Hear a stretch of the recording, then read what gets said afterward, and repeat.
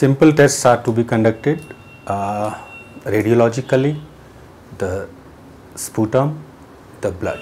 This were the three categories I'll put into it. Radiologically, we get an X-ray uh, chest done and we find out if there is a proper lesion out there. Then the sputum is tested for acid-fast bacilli as well as the culture so that we can confirm the diagnosis. And then we have blood tests in the form of ESR which is generally in tuberculosis raised, but it is raised in other conditions also. So, this is not a very specific test. The specific test comes Mantoux test or tuberculin sensitive test what we call it TST.